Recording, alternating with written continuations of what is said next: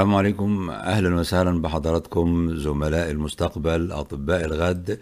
درس جديد من دروس اليوفيا ولا زلنا بنتحدث عن اليوفيايتس. وزي ما اتعودنا نبدأ الدرس بتاعنا ونبدأ الفيديو بتاعنا بصورة نتأمل فيها وكل واحد يشوف هيخطر على ذهنه إيه. وقف الفيديو وفكر وشوف يا ترى الصورة دي بتوحيك بتوحي لك بإيه؟ بعض الناس شايفين الصورة دي أبيض وأسود يعني حاجة من الذكريات من زمان ومفيش أحسن من ذكريات زمان أيام ما كنا أطفال وما كانش فيه يربطنا مصالح غير الحب والصداقة.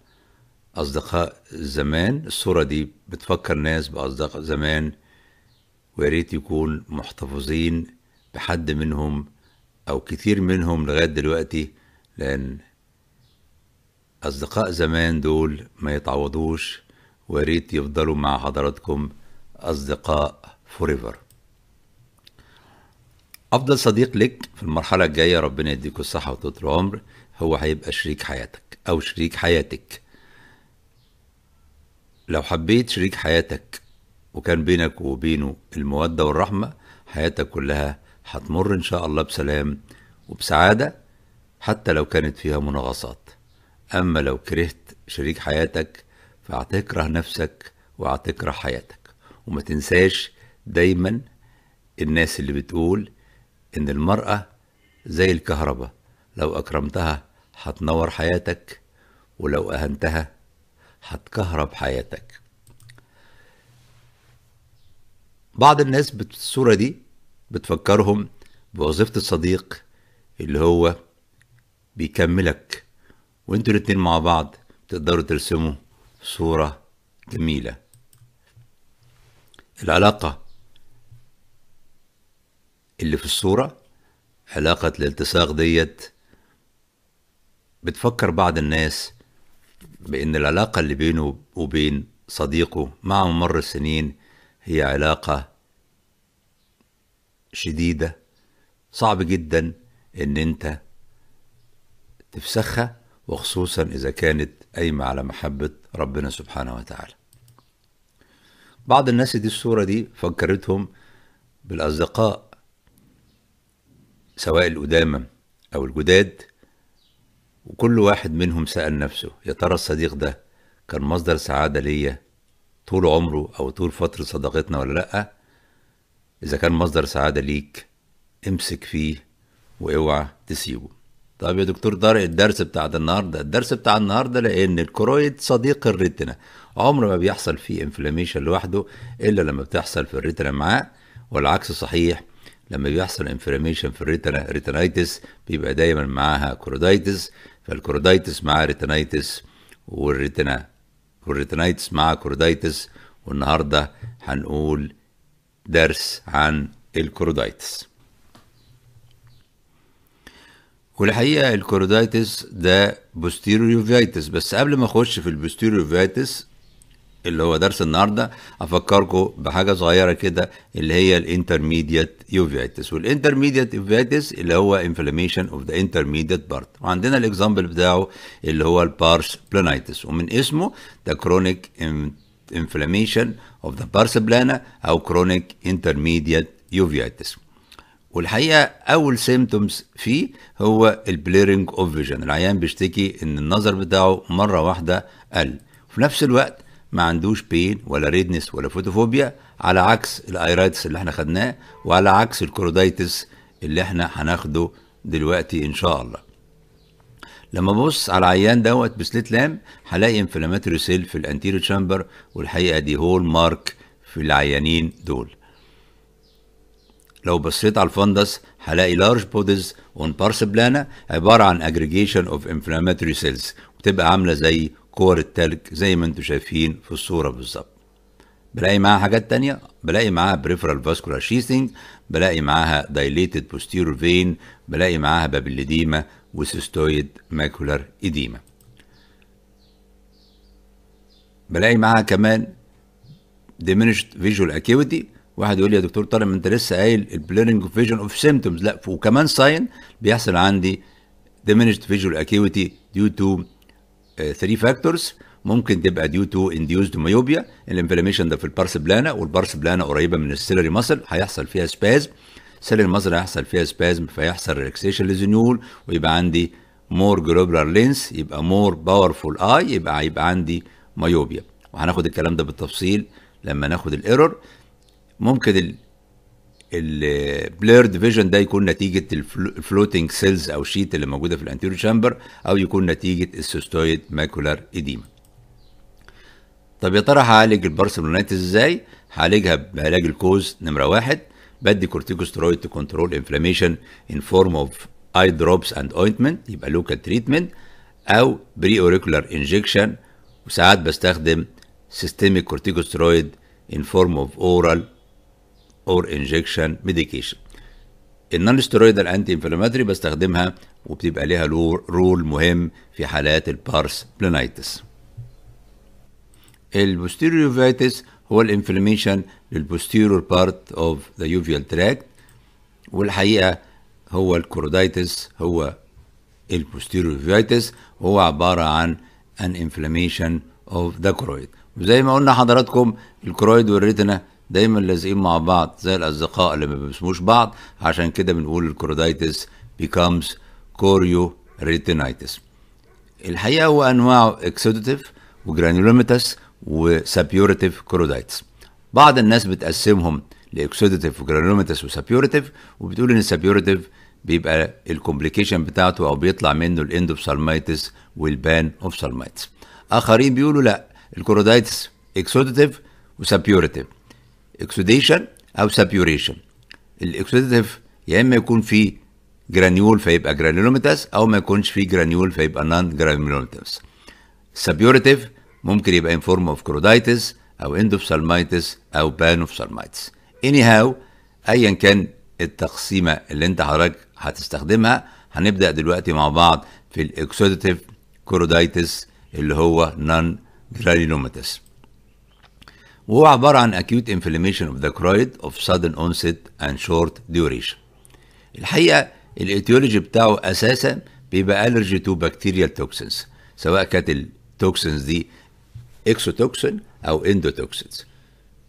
في الغالب بيبقى العيان عنده TB أو streptococcal infection فال tubercle protein وال streptococcal toxins بتعمل لي exudative choroiditis ال symptoms تبقى ال symptoms باينة إذا كان في affection لل central area of the choroid أول حاجة بيشوفها ال photopsia. وعندنا كلمة photopsia دي من مقطعين فوتو يعني ضوء و opsia يعني يا جماعة يعني abnormal vision. أي abnormal vision هسميه opsia لأن هكرر opsia كتير قوي دلوقتي وأنا بتكلم. photopsia يعني إيه photopsia؟ حضرتك شايف الصورة دي؟ كلك شايفها من غير أي إضاءة فيها إلا العيان اللي عنده choroiditis هيبص يلاقي فيه إيه؟ في نور بينور ويطفي قدامه في أي مجال في أي مكان في إيه؟ في مجال إبصاره. دي بسميها photopsia. بيحصل كمان عندنا حاجة اسمها metamorphopsia. إحنا قلنا opsia يعني abnormal vision meta يعني متعدد morpho يعني شكل. فيشوفوا الحاجات متعددة الأشكال ومتعرجة. زي ما حضراتكم كلكم طبيعي تشوفوا النخل بالشكل ده هو هيشوف النخل اللي في النص. metamorphopsia متعرج زي ما أنتم شايفين بهذا الشكل. macropsia و micropsia وإحنا قلنا opsia يعني abnormal vision macro يعني كبير ومايكرو يعني صغير. يعني إيه يا جماعة؟ كلنا هنشوف الكنبة بهذا الحجم هو هيشوفها يا إما صغيرة عن الطبيعي micropsia يا إما كبيرة عن الطبيعي macropsia. ودي نتيجة إن ال photoreceptors يا إما قربوا لبعض يا إما بعدوا عن بعض. العيان ده بيبقى عنده كمان field defect الحتت اللي فوق ال choroid ال inflamed ما بتشوفش كويس عشان كده هيشوفها معتمة بيبقى كمان عنده opacities في ال vitreous بتبقى in form of muscae volitantes كلنا بنشوف سطح النيل رايق وهو بيشوف دبانة رايحة جاية قدام عينيه. في الآخر بيبقى عنده failure of vision. مفيش وجع؟ مفيش وجع لأن إحنا قلنا ال choroiditis وال choroid ما فيهوش nerve ending عشان كده ال choroiditis بيبقى with no pain. طب يا ترى إيه ال signs اللي إحنا هنشوفها في ال exudative choroiditis عادة بيبقى bilateral وبيبقى عندي يا إما recent focus أو healed focus أو عندي exudative stage أو atrophic stage بالنسبة لل exudative stage أو ال recent focus زي ما أنتم شايفين منظرها بالشكل ده دي ال focus لسه recent لسه focus of choroiditis والحتة الصغيرة دي يمكن دي الصورة بتاعتها واضحة. لونها يا جماعة؟ لونها yellow exudative patch with ill-defined edge لو حضرتك حبيت تحدد ال edge مش هتعرف يا ترى ال edge هنا ولا ال edge هي اللي outer لأنها with ill-defined edge الحاجة الثانية cloudy retina and vitreous over the patches يمكن هنا الصورة واضحة شوية إنما عادة بتبقى ال retina وال vitreous cloudy الحاجة الثالثه بيبقى cover the choroidal blood vessels and retinal blood vessels cross over the patch لو ملاحظين حضراتكم هنا ال blood vessels اهو معدي فوق ال patch ال blood vessel بتاع ال retina معدي من فوق ال patch اللي موجودة عندي. ال atrophic stage زي ما أنتم شايفين بالمنظر ده أو ال healed focus بتبقى white patches with well with well defined edge بتبقى معاها pigmentation black pigmentation spots around white patches وبيبقى ال vitreous فوقيها clear ولو شفنا مع بعض الصورة دي هنلاقي دي active أو recent focus ودي atrophic أو healed focus واضح إن هنا ill-defined وحتى ما شايف هنا التفاصيل هنا كويسة لأن ال vitreous hazy هنا ال vitreous بيبقى clear بتبقى white patches وحواليها pigmentation زي ما أنتم شايفين. لل exudative choroiditis لازم أعمل له differential diagnosis من ال myopic chorioretinal degeneration وال senile chorioretinal degeneration بقسم ال exudative choroiditis على حسب هو diffuse ولا localized اللي diffuse و localized choroiditis طب على حسب مكانه بقسمه يا إما منتشر في ال retina كلها في ال choroid كله وال retina كلها فبسميها disseminated choroiditis أو يبقى في ال central area بس فيبقى central choroiditis أو حوالين ال optic nerve فبسميه juxtapapillary choroiditis و papillary اللي هي papilla اللي هي ال optic nerve disc. و juxta يعني جنبه. يا إما بيبقى موجود anterior شوية عشان كده بسميه anterior choroiditis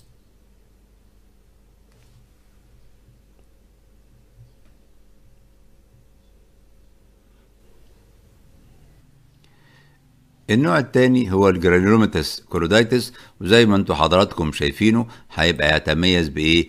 بوجود ال granuloma والحقيقة هو chronic inflammation of the choroid with formation of nodule of gradual onset and long duration. يا ترى إيه اللي يعمل لي granulomatous choroiditis حاجات كتيرة جدا زي التي بي والسيفلس والساركويدوزس والبروسولوزس والتوكسو plasmosis ال fundus picture بتاعه بيبقى characterized by formation of nodules والحقيقة في ناس كتير قوي غاوية تقول إيه الفرق ما بين ال granulomatous وال non-granulomatous choroiditis مش هنضيع وقتنا فيه. وقفوا الفيديو وكبروا الصورة وشوفوا الفرق اللي ما بين ال granulomatous ال non-granulomatous choroiditis خلصنا ال exudative وال granulomatous يفضل لنا ال suppurative choroiditis وال suppurative choroiditis هو suppurative inflammation of the choroid والحقيقة suppuration يعني pus أكيد بيبقى organism أو infection عشان كده السبب بتاعه هو ال infection ممكن ال infection ده يبقى exogenous infection زي حالات ال corneal ulcer أو ال perforated ulcer وال descemetocele أو يخش ال organism من بره في حالات ال trauma أو even during the surgery. والحقيقة during the surgery ممكن يبقى ال inflammation acute immediate بعد العملية ممكن يبقى chronic later on بعد العملية لما بيبقى acute post operative infection بيبقى عاده following ocular surgery أو surgery معاه filtering bleb زي حالات الجلوكوما بيبقى caused by virulent organism بيبقى من يوم الاربعه post operative بيبقى progressing وبقى associated with severe pain and visual loss انما الكرونيك ان كونتراست بيبقى caused by less virulent organism ممكن ياخد up to 4 week post operative بيبقى slowly progressing associated with less pain and good visual acuity may be granulomatous or non-granulomatous. ده ال infection اللي جاي من بره اللي هو ال exogenous infection ال infection ممكن يجي من جوه اللي هو ال endogenous infection زي حالات ال septicemia وال pyemia بالذات في ال neonates وحالات ال orbital cellulitis وحالات ال meningitis لو بصيت على ال fundus fundus picture هلاقي suppurative inflammation with formation of pus بالنسبة لل investigation وال treatment هتقول نفس الكلام اللي قلناه قبل كده في ال iridocyclitis علشان ما نكرروش. في ناس كتير جدا بتحب السؤال يا ترى إيه الفرق ما بين ال choroiditis وال iridocyclitis أول فرق إن في ال choroiditis مفيش pain على عكس ال iridocyclitis وإحنا طبعا كلنا عارفين مفيش pain ليه؟ علشان مفيش nerve ending في ال choroid. تاني حاجة إن في ال choroiditis ما بقاش فيه marked visual loss إلا إذا كان السنترال اللي affected إنما عادة في ال iridocyclitis دايما في marked visual loss الحاجة الثالثه secondary glaucoma is not common في حالات ال choroiditis but is very common في حالات ال iridocyclitis آخر حاجة ال corticosteroid are more important than atropine in cases of choroiditis. إنما في حالات ال iridocyclitis لازم أدي كورتيكوستيرويد ولازم أدي atropine to break the synechia دول الأربع حاجات اللي لو حضرتك سألت إيه الفرق بين ال choroiditis وال iridocyclitis إن شاء الله تفتكرهم وتقولهم. ال choroiditis لو بدأ ينتشر في بقية طبقات العين هيعمل لي endophthalmitis وال endophthalmitis هي هو عبارة عن devastating acute suppurative inflammation inside the globe. وخلوا بالكم من كلمة devastating يعني مدمر. للأسف الشديد ال end stage بتاعت ال endophthalmitis بتبقى very bad. نخلي بالنا إن the outer coat nor tenon capsule are affected لأن لما هيبقوا affected هيبقى في disease تاني اللي هو panophthalmitis إنما في ال endophthalmitis لا ال outer coat ولا ال tenon capsule بتبقى affected طب يا ترى ال etiology إيه؟ إما تبقى infective زي بالظبط أسباب ال suppurative choroiditis أو تبقى non infective زي ال auto immune أو ال immune reaction ال chemical burn حالات ال vasculitis حالات ال neoplasm وبعض ال aseptic uveitis اللي بيحصل بعد عمليات بنسميه acute post operative sterile endophthalmitis والحقيقة ده ما فيهوش organism ولكن ال retained foreign bodies زي ال powders من ال gloves أو ال much manipulation during operation زي حالات ال vitrectomy بتسيب العيان with acute post operative endophthalmitis مبقاش فيه pus ولكن بسميه aseptic uveitis. طب يا ترى العيان اللي عنده endophthalmitis هيشتكي من إيه؟ هيبقى عنده constitutional symptom fever و malaise و vomiting بيبقى معاه severe pain and headache و marked diminution of vision up to no PL طبعا بالإضافة إلى ال photophobia وال lacrimation وال redness طب يا ترى ال signs إيه؟ edema و redness of the eye and the lid chemosis and hyperemia of conjunctiva KPs على ال cornea مع hazy cornea hypopyon و yellow reflex ال red reflex بتاعه بدل ما هو احمر وكلنا بنشوف ال red reflex احمر هيبقى yellow reflex وطبعا زي ما قلنا من ضمن ال signs برضو diminished visual acuity up to no PL لازم أميز حالات ال endophthalmitis من ال other causes of yellow reflexes اللي هي ال panophthalmitis وال retinoblastoma وال pseudo glioma إيه اللي هيحصل لو العيان جاله endophthalmitis إنه ينتشر لل outer coat ويعمل لي panophthalmitis أو يحصل fibrosis ويديني حاجة اسمها pseudo glioma أو يحصل ضمور في العين اللي إحنا بنسميه atrophia bulbi أو يخف مع ال treatment ويكون ربنا كرمه ويخف بعد حالة حالات ال endophthalmitis ال treatment لازم I start treatment as early as possible. لازم في المستشفى hospitalization careful history taking and examination وبدي بعمل aqueous and vitreous taps باخد عينه من ال vitreous ومن ال aqueous 0.1 ملم sample بعمل لها direct smear بال Gram وال Giemsa أو ال silver stain. وبعمل culture للبكتيريا وال fungal وبعمل sensitivity test علشان أشوف ال antibiotics اللي أنا هديه إيه. ما تستناش نتيجة ال sensitivity إنها تطلع ولكن start antibiotic زي ما اتفقنا قبل كده في حالات ال corneal ulcer بدي antibiotics by all means in high doses يعني إيه by all means بكل الطرق؟ أول حاجة بستخدمها ال intravitreal injection يعني هحقن جوه ال vitreous عشان أوصل ال antibiotics لجوه العين. بحقن 0.2 مللي جرام أو 1 مللي جرام أو 2.25 مللي جرام Fortum وكرر الحقن مرة كل 24 ساعة أو مرة كل 48 ساعة على حسب حالة العيان. بدي subconjunctival injection وبدي كمان topical fortified eye drops مش عاوز أدوش دماغكم بالأرقام الكتيرة ولكن لازم تبقى عارف إن أنا بدي subconjunctival injection وبدي topical fortified drops ال local بيبقى less effective و less adequate عن ال systemic ومع ذلك برضو بدي local anti بدي كمان اتروبين سواء local أو subconjunctival وبدي كورتيكوستيرويد في ناس بتحب تبدأ الكورتيكوستيرويد 24 hours after intravitreal injection of antibiotics وفي ناس بتبدأه على طول. في ناس بتدي ال corticosteroid local و systemic وفي ناس بتكتفي ب local بس. إنما الحالات الوحيدة اللي بخاف أدي فيها كورتيكوستيرويد لما يكون عندي fungal infection is suspected بضطر في حالات كتيرة أعمل vitrectomy بعد ما أعمل control ال infection وهنا هتلاقوا controversial يا ترى أعمل immediate vitrectomy أول ما أشوف ال endophthalmitis ولا أبدأ antibiotics واستنى يوم واحد أو يومين. في بعض الناس بتقول بستنى من يومين لثلاثة وفي ناس بتعمله early عشان ال damage اللي هيحصل في العين مش هيرجع تاني.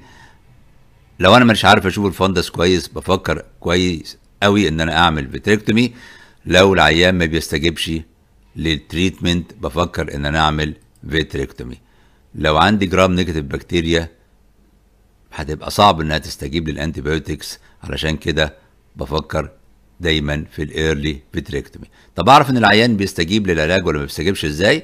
ال pain هيقل ال redness هيقل ال vision will improve and I can see the fundus لو ده حصل يبقى العيان فيه response أقدر أجل ال vitrectomy شوية لو ما ده حصلش هضطر أعمل vitrectomy to save the eye لو جالي العيان late والعين مليانة pus وما بيشوفش بيها في عندنا قاعدة بتقول ubi pus ubi pus ibi evacua ودوت مثل لاتيني معناه if there is a pus about let it out. ال pus should be drained. هفضيه طب أفضي ال pus إزاي؟ ده العين كلها مليانة pus. هفضي ال pus من جوه العين إزاي؟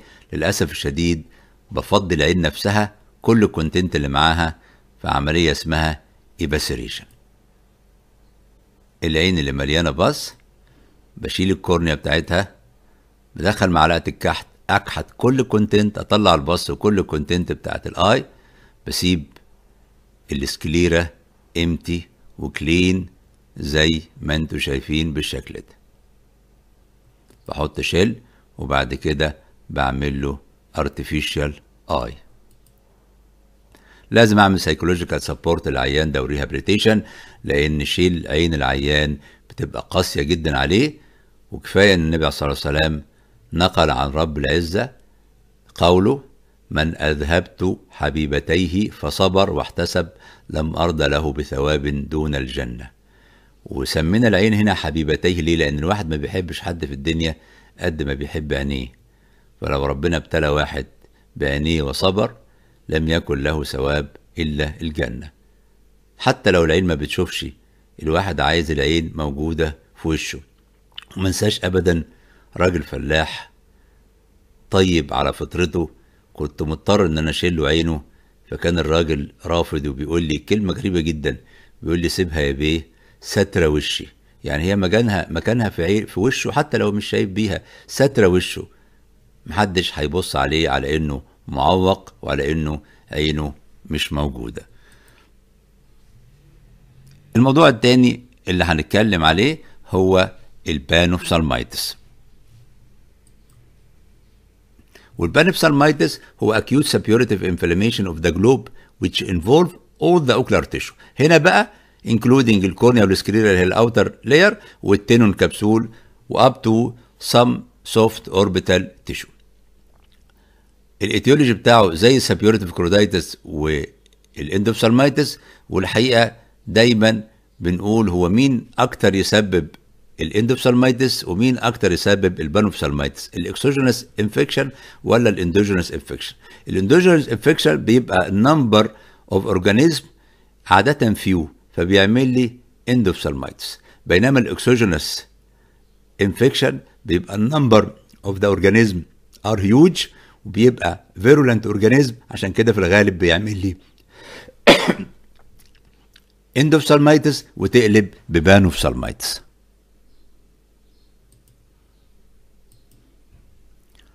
ال clinical picture بتاع ال panophthalmitis كل ال symptoms بتاعت ال endophthalmitis but more severe. وبالنسبه لل signs هلاقي برضو كل ال signs بتاع ال endophthalmitis ولكن more severe وهلاقي معاها ring abscess of the cornea والاقي معاها signs of Tenon capsule affection وده اللي بيميزها لي عن ال endophthalmitis بلاقي معاها proptosis و limitation of ocular movement أقول للعيان بص يمين بص شمال عينه ما بتتحركش والاقي العين طالعة لبرة أعرف إن هو panophthalmitis مش endophthalmitis differential diagnosis بتاع ال panophthalmitis should be differentiated from endophthalmitis. وزي ما قلنا بال proptosis وبال ring ulcer وبال limitation of the movement بنميزه عن ال orbital cellulitis وال cavernous sinus ويا ترى لو العيان ده بتاع ال panophthalmitis أنا ما عالجتهوش كويس. أو حتى عالجته والعلاج ما جابش نتيجة. إيه اللي هيحصل؟ أول حاجة atrophia bulbi as pus burst through the cornea. تضمر العين لما ال pus يطلع من ال cornea cornea يحصل لها melting ويطلع من خلالها ال pus ممكن يبقى عندي spread لل infection to other structure هيروح فين؟ هيروح لل orbital tissue يعمل لي orbital cellulitis يروح لل cavernous sinus يعمل لي cavernous sinus thrombosis أو يعمل لي meningitis بعض الناس بتحب تسأل ليه ما بيحصلش حالات sympathetic ophthalmitis مع ال panophthalmitis أو ال endophthalmitis علشان بيحصل complete destruction لل choroid وال iris بال infection اللي موجود. وال choroid وال iris هو اللي initiating ال sympathetic ophthalmitis ومعلش هنعرف الكلام ده بالتفصيل وإحنا بناخد ال trauma إن شاء الله. طب هعالج ال panophthalmitis إزاي؟ ب intensive antibiotics زي ما قلنا في ال endophthalmitis ولو في الآخر ما كانش في نتيجة وخفت من ال spread infection هعمل episcleritis هعمل إيه sorry evisceration ما بعملش enucleation وبعمل evisceration بكحت كل ال content اللي موجودة جوه العين وأطلع ال pus ما بعملش enucleation لأن في ال enucleation ممكن هعمل spread وأنا شغال ممكن يحصل spread لل infection to the brain or to the other structure. بكده يبقى فاضل لنا حاجتين صغيرين قوي حضراتكم لازم تعرفوهم. ال atrophia bulbi وال phthisis bulbi. وال atrophia bulbi هي عبارة عن shrunken but organized globe يعني العين بتضمر بتصغر ولكن لما تاخد فيها section تلاقي كل ال structure بتاعتها موجودة زي ما هي. ال outer coat وال middle coat وال inner coat ولكنها ضمرت ما بقتش إيه؟ ما بقتش في حجمها الطبيعي. طب يا ترى إيه اللي يعمل لي atrophia bulbi؟ يعملها لي تحصل ال atrophia bulbi في حالات ال atrophic stage of glaucoma ال perforating trauma تعمل atrophia bulbi. ال chronic iridocyclitis وال choroiditis اللي هو الموضوع بتاعنا بتاع النهارده. ال old neglected retinal detachment وال organized endophthalmitis ال clinical picture هلاقي العين soft فيها hypotony طبعا ال ciliary body ما بيشتغلش ما بيطلعش aqueous sufficient enough. تبقى العين صغيرة small shrunken تبقى quadrangular يعني مربعة. لو حضراتكم تلاحظوا شايفين إيه؟ مضغوطة هنا ومضغوطة هنا ومضغوطة هنا ومضغوطة هنا. الأربع ضغطات دي مكان ال extraocular muscle علشان كده بتبقى شكلها إيه؟ شكلها مربع وال vision فيها بيبقى no PL طب يا ترى هعالج ال atrophia bulbi إزاي؟ طبعا ما يقدرش يرجع فيها النظر مرة تانية لأن العين خلاص ما بتشتغلش no PL. ما يقدرش عليها إلا ربنا سبحانه وتعالى. إنما ممكن أغطيها شكلا بس فاحط cosmetic contact lens عشان يبقى شكلها كويس أو أحط ocular prosthesis عين صناعية بتتحرك يمين وشمال مع العين التانية أو أحط shell بس فوق ال atrophic eye بسميه cosmetic shell لو عنده مشكلة في ال skin بتاع ال face ممكن أعمل كمان facial prosthesis